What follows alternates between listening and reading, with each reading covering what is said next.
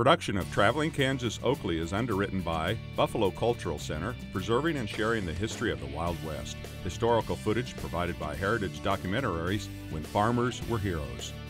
Kansas Humanities Council, Logan County Implement, People State Bank of Oakley, Dave's Body Shop, Mike Chrysler, Great Western Tire in Oakley and Colby, Mittens of Oakley,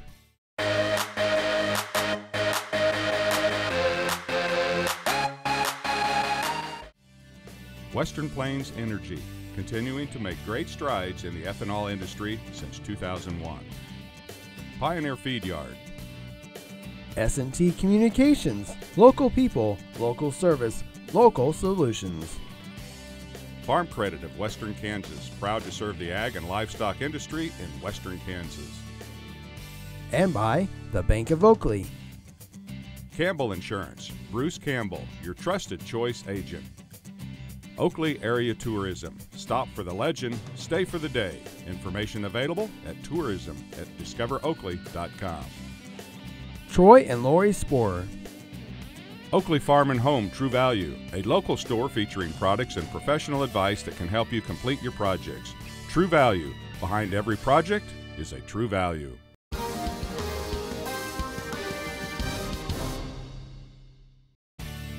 Join us for a visit to see places of interest and attractions right here in Kansas.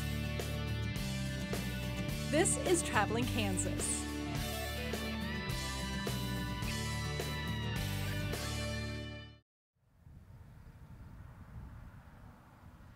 Welcome to the Buffalo Bill Cultural Center in Oakley, Kansas. We are a visitor information center, so we have all of your free maps and brochures to help direct you on your path in Northwest Kansas and around the state. We have um, a 9,000 pound bronze sculpture depicting Buffalo Bill um, on his horse shooting a buffalo, um, as well as a storyboard that explains the story of the day that Buffalo Bill um, had the contest to receive his title as Buffalo Bill here uh, in Northwest Kansas. Um, we also have an AM radio station that plays the story of the contest as well. As another point of interest, we have a large Kansas history mural done by Dennis Scheel out of Ellis, Kansas that depicts history across the state and all the things to see and do here in Kansas. We have a gift shop with Kansas-made products and lots of interesting gift items, as well as a 3,200 square foot event center that hosts everything from meetings to weddings, um, showers, reunions, sky's the limit. Uh, when visitors stop in, one of the first things we hear is, oh my goodness, it's a buffalo. We have Fred in our lobby, who is a large taxidermied buffalo that was donated to us um, as the Wild West Historical uh, Foundation. So Fred is definitely a point of interest. Everyone wants their picture taken with Fred. Also, just three short blocks away is our Fick Fossil Museum that offers more to see and do here in Oakley. I'm Kelsey Shellito, and I'm the director at the Fick Fossil and History Museum in Oakley. And at the Fick Fossil and History Museum, we have a wide array of different things ranging from locally found uh, fossils, minerals, and uh, of course then we have our local history uh, from the community. Vi and Ernie Fick, who the museum is named after, found the fossils on their ranch south of town, and she actually turned the fossils into artwork, so that's what we're famous for. She was featured um, in Ripley's Believe It or Not. She is the only one that we know of that turns fossils into artwork. And that, her artwork is on display throughout um, the museum. We have the oldest documented mosasaur and it has its eye socket intact, which is the only one in the world that has uh, fossilized skin tissue in the fossil. And then of course we have our local history, which our permanent exhibits feature a sod house, a, a railroad depot exhibit, as well as a general store, and then we have our local military history on display permanently. The Sternberg Museum uh, is in Hays, but we do have a large amount of Sternberg fossils here at the Fick Museum. He did a lot of his exploration in Oakley and in Logan County, so we uh, have a lot of different pictures and items that were prepared by him on display. The Fick Museum is located at 700 West 3rd Street. We are in the same building as the public library. Our uh, building was recently remodeled. We expanded and have a brand new addition which will host rotating exhibits. So if you have visited us before, make sure you come back and check out all of our new things or visit us for the first time. Kansas State Cornhusking has actually taken place here at the current location for the past four years um, in the cornfield owned by Gary and Raylene Keller behind our building. In 1969 and 1970, a group of men in western Kansas were searching for an event to attract travelers off of Interstate 70 uh, to the community here in Oakley. One idea that finally surfaced was presented by our Logan County agricultural agent Ross Nelson. Um, his idea was to recall the old days of holding an old-fashioned hand corn husking contest and hopefully draw the large crowds that had once attended them. Well, when I was um, in grade school, they held a county corn husking uh, about three blocks from the school. And so they let the school out so we could see it. And they went for an hour and 20 minutes then. I worked in the Logan County Extension Office from 1970 to 1988 when I retired. And I was with Ross when he instigated the first corn husking contest. Sat down on my knees on the floor making posters and, and signs. And every year I'd say, Ross, you sure you want to do this? Is it worth it? Oh, yeah, oh, yeah. So. Well, it got pretty popular, and so uh, I wanted to keep it going. Ross Nelson came and asked him to help. Mm-hmm. And he said yes, he would. And he found out uh, at that time he was selling Pioneer Seed, but he was working for the Garst Company. Uh, what he did that year, I know we, he paid for the trophies, but a couple of years after that, um, they started uh, to pay for the banquets. One, one of the Huskers was from Illinois or somewhere, and he hitchhiked to get here for the corn husking. And after it was over, George and I took him out to the bus station, and George paid his way back.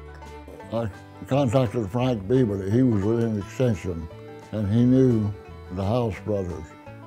And he uh, uh, arranged for me to meet them and we went up and talked to them, and they was real happy to help get it going. And Kenneth had a copy of the minute of the rules, and uh, he gave, gave that to me, and we used it for the rules. Kenneth House entered into this project in 71 at the request of Ross and all these hard workers that have been talked about and all the work that they put together. The reason he was invited was because he was the only person who had actually been involved in a real contest. He had been involved in a contest through the last 10 years, 30s to the 40s. Uh, they couldn't have found a more enthusiastic person because he just loved reliving the memories of his youth. I think Ross would tell you, uh, and maybe I'm biased, but I think Ross would tell you that he was a great help in the sense that his personal knowledge of how to do the gleanings and all the samplings and all these things proved very beneficial in those first years. After a year or two, all these other people picked it up and did very well with it. But he never lost his enthusiasm. He, he went to the grave with it. Of course, my father, Kenneth, and my uncle Lawrence were brothers, and both were involved in the husking uh, from 1930 on until the war, of course, stopped the husking in 1941. And you said Dad was probably the most uh, enthusiastic corn husker, but his mother would have been equally um, enthusiastic. Yes. And she saved newspaper clippings of the husking that they had done. And, and from those newspaper clippings, we learned a lot about how important the contests were in the country. So armed with the knowledge from these Huskers and the pre-World War II rules that uh, they provided, Nelson and the House brothers reduced the time limits and Husk deductions to compensate for the 10 and 20 minute contests. Uh, because contests of pre-World War II were up to 80 minutes and pretty rigorous. It was really strenuous work. And those fellows in the minute and 20 minutes, the hour and 20 minutes, uh, they were sweating something terrible. And we didn't want to have a heart attack out in the field, so we cut it back.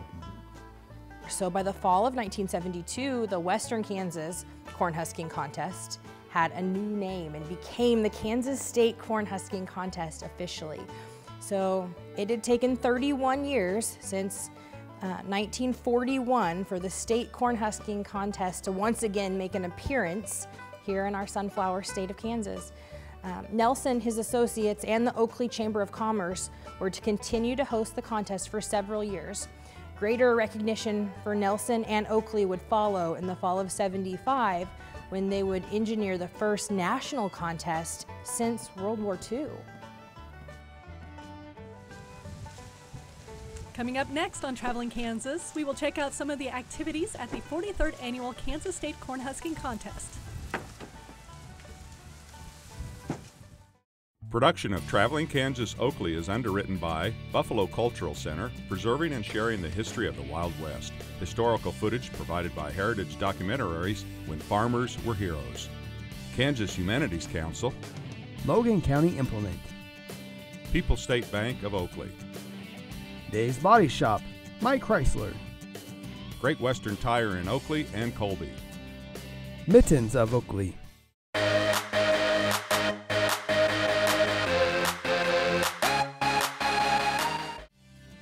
Western Plains Energy, continuing to make great strides in the ethanol industry since 2001. Pioneer Feed Yard, S&T Communications, local people, local service, local solutions. Farm Credit of Western Kansas, proud to serve the ag and livestock industry in Western Kansas. And by the Bank of Oakley, Campbell Insurance, Bruce Campbell, your trusted choice agent.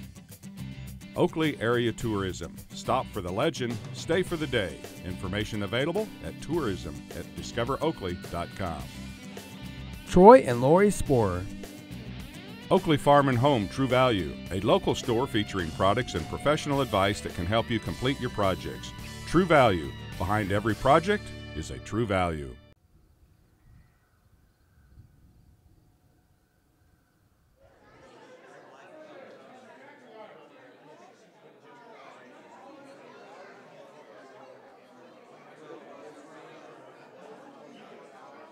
I'm a farm boy from Iowa.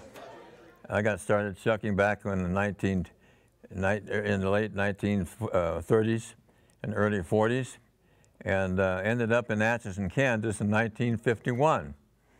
And uh, in 1971, when I first came out here, we had been having a little a group of people shucking corn in, in the Atchison area. I got started shucking corn in, uh, the, in the contest uh, part of it in 1991. And uh, my first trip to Oakley. And uh, I've been coming back every year since, and it's been a great trip. Uh, Oakley's been a great place to have the, the state and the national contest. And I think I've been to four or five national contests here in Oakley. And every one of them's been great. They, uh, they uh, know what to do, and uh, they had a large group that really got the job done.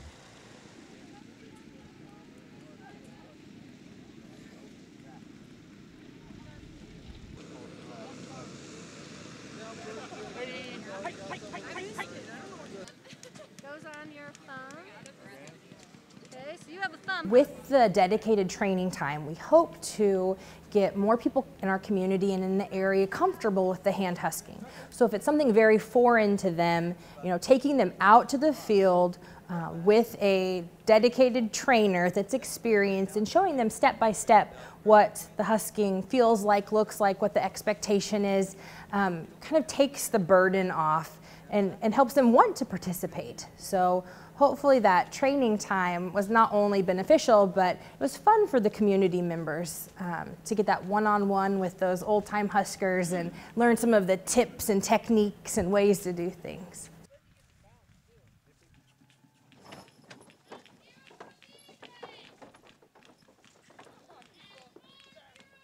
There's not an age limit, but height is definitely, um, height and strength both play in. So you have to be tall enough to reach the corn cobs off of the stalk and then strong enough to break them off and toss them into the wagon. Even the young kids, if they can get that technique down or figure out how easy or hard it is, they might be future Huskers.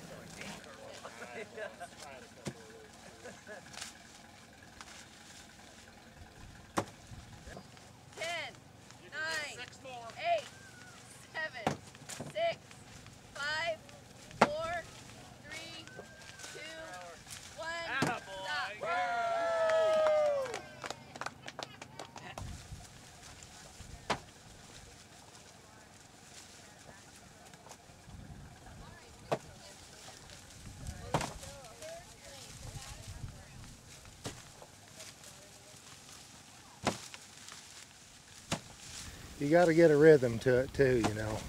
It just don't. It's all about every little split second counts, you know. How you throw it in the wagon and everything, all that adds up. You don't want to be standing there looking at the damn wagon because you ain't going to get it in there. I mean, you get it in, but you've wasted, you know, another ear. Yeah. So.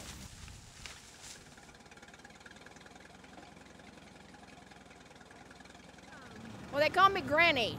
Granny Delaire from Oakley, Kansas. How long have you been doing this? We figured out this morning it's 14 years. We skipped uh, two years in there because of ice and snow and uh, rain. And what are you driving today? Oh, my Mini Moline. That's the only tractor I'll drive is my Mini Moline. If I don't have it, I don't drive. But I love it. I love driving it. What do you enjoy about Kansas State corn husking? Everything. It's so much fun cold weather, fog, wind, sun, food, people. I love the people. Mm-hmm. Great people.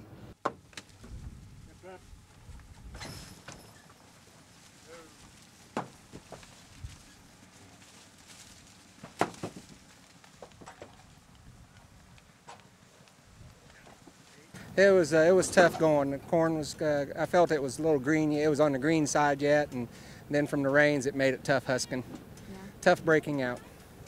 Started when my kids were little. Aww. My youngest one's 19 now, so uh, let's see. It'd been a few, quite a few years, 10 to 15. Wow. Have you ever been to nationals? Yes. Okay. I've never placed though.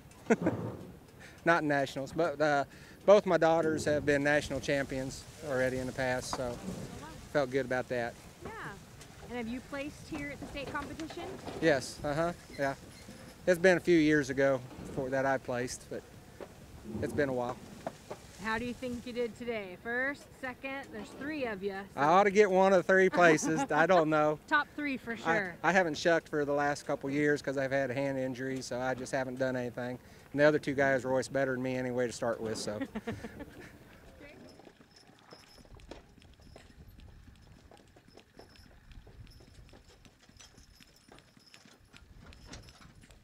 Tell us about your team. They're uh, Percheron and Belgian Cross. Uh, Kate's 12 and Lippy is 9. I raised them. Aww. And I've got two more full sisters to them at home. So they're kind of my bass boat. and uh, Kate's been here before. Lippy's first time up here, so but it's it's different because they never get to stop and go like this. So it's kind of takes them a little while to get used to the program, but they're used to just once they're moving, they keep going. Like in a if I'm plowing or hauling hay or something like that. So. Okay. How many So it's new experience. have you come to Kansas State corn husking for several years? I now? think that's about my fifth trip up here. Okay, wow.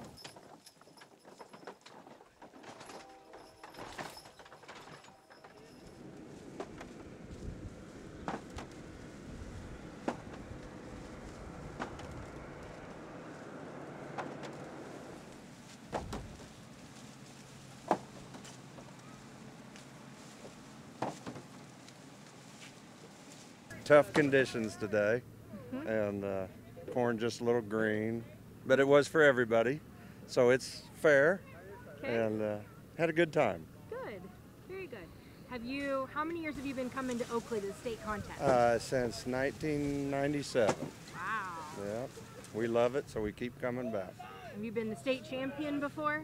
Yes, several times. When was the last time? Uh, last year, Okay. Did you go on to nationals? yes, we did. How'd you do? Oh, about middle of the pack. Okay. About middle of the pack. I beat half of them, half of them beat me. So with three people in your group here at state, how many do you go against in nationals? Oh, there's like uh, anywhere from 12 to 15. Okay. Yeah. The old timers are the good ones. They know how to do it because they used to. There's still a few of them that did it growing up when they did it every day, and, and they're the good ones to learn from. But we love to come out here to Oakley. Uh, you know, guys always put on a good contest.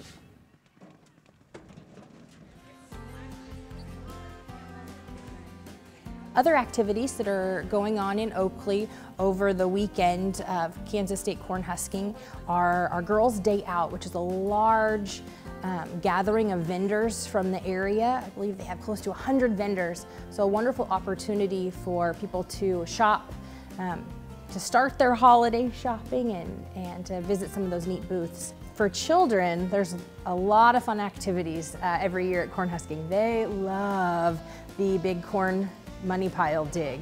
So after the corn has been um, husked in the field and the combine goes down the rows to clear the rows, towards the end, the combine will come and dump the corn kernels into um, a large square box that's been made. The, one of the local banks, the um, the bank here in Oakley sponsors the event and they put for each age division different money into the pile and the kids have a time limit and are able to jump in the money pit. So that's always exciting. Um, there is a corn cob throw for distance where the kids get medals um, for how far they can chuck the corn cob.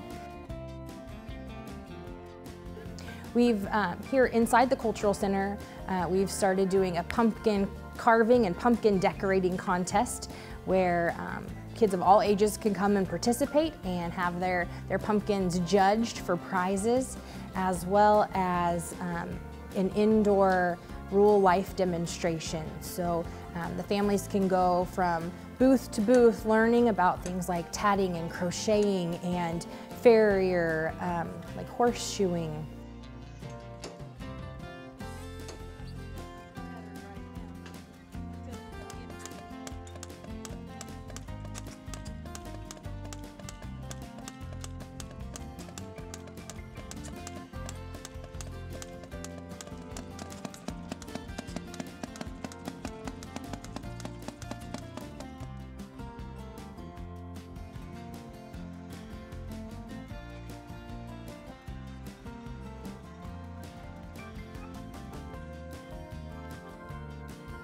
Corn cook-off takes place on the Friday um, before the Kansas State corn husking. Um, lots of different businesses participate. I think there were 13 this year. Um, go prepared to eat lots of interesting corn dishes.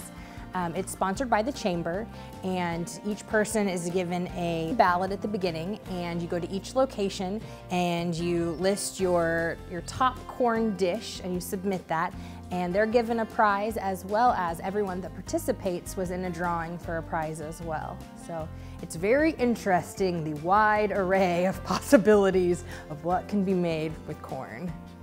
Moving the competition from the cornfield and the husking competition to the dinner table, showing um, camaraderie um, with the businesses, with the different individual groups. that they participated and were excited about the corn dishes they were making.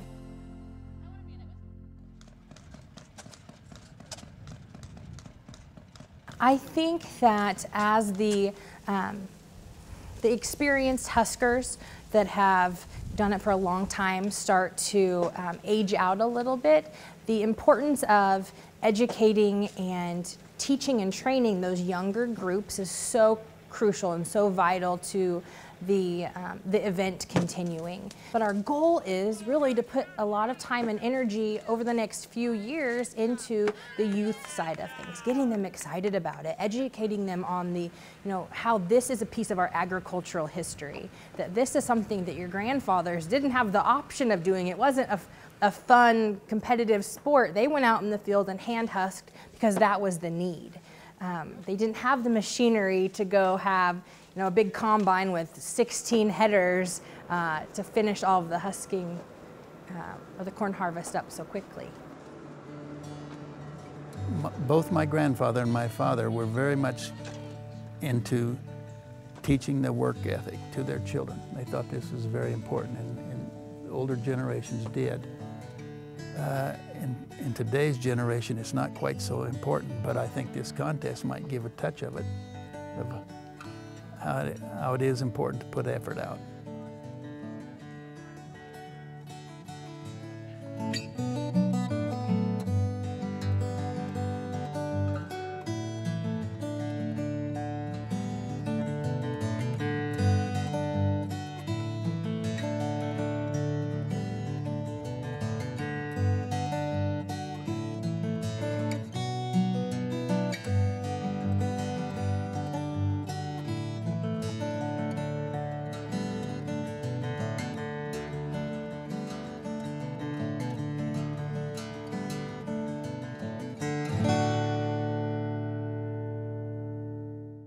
Production of Traveling Kansas Oakley is underwritten by Buffalo Cultural Center, preserving and sharing the history of the Wild West. Historical footage provided by Heritage Documentaries when farmers were heroes. Kansas Humanities Council, Logan County Implement, People State Bank of Oakley, Dave's Body Shop, Mike Chrysler, Great Western Tire in Oakley and Colby, Mittens of Oakley.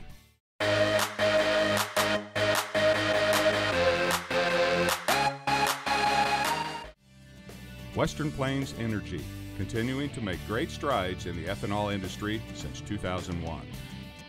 Pioneer Feed Yard. S&T Communications, local people, local service, local solutions. Farm Credit of Western Kansas, proud to serve the ag and livestock industry in Western Kansas. And by the Bank of Oakley. Campbell Insurance, Bruce Campbell, your trusted choice agent. Oakley Area Tourism. Stop for the legend, stay for the day. Information available at tourism at discoveroakley.com. Troy and Lori Sporer. Oakley Farm and Home True Value, a local store featuring products and professional advice that can help you complete your projects. True Value, behind every project is a true value.